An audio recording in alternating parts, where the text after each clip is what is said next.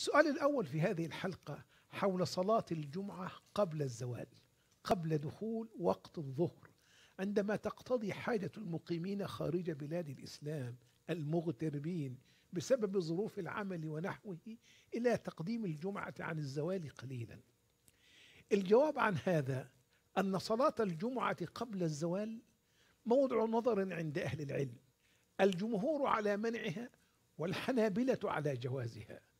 ومن أدلة الجمهور على كون الجمعة لا تكون إلا بعد الزوال ما جاء في حديث سلمة بن الأكوع يقول كنا نجمع مع رسول الله صلى الله عليه وسلم إذا زالت الشمس ثم نرجع نتتبع الفيء. أيضا حديث البخاري عن أنس بن مالك أن النبي صلى الله عليه وسلم كان يصلي الجمعة حين تميل الشمس أي بعد الزوال. ومن أدلة الحنابلة على جوازها قبل الزوال ما رواه مسلم عن أبي جعفر الباقر أنه سأل جابر بن عبد الله متى كان رسول الله صلى الله عليه وسلم يصلي الجمعة؟ فقال كان يصلي ثم نذهب إلى جمالنا فنريحها حين تزول الشمس. كان يصلي ثم نذهب إلى جمالنا فنريحها حين تزول الشمس. المسألة إذن في محل الاجتهاد ويجمع بين الأحاديث أن النبي صلى الله عليه وسلم كان يصليها بعد الزوال أكثر الأحيان ويصليها قبل الزوال قريبا منه أحيانا أخرى.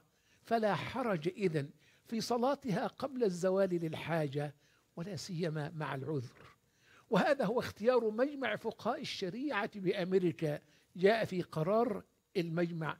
إذا دعت الضرورة أو اقتضت الحاجة تقديم صلاة الجمعة أو خطبتها أو تقديم خطبتها قبل الزوال جاز ذلك عملا بمذهب الإمام أحمد وهو نفس ما أفتت به اللجنة الدائمة للإفتاء ببلاد الحرمين.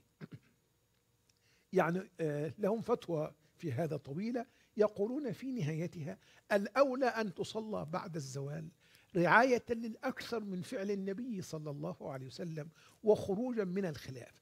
وهذا مما يدل على أن المسألة اجتهادية وأن فيها سعة. فمن صلى قبل الزوال قريبا منه فصلاته صحيحة إن شاء الله ولا سيما مع العذر كالعذر الذي ذكره السائل.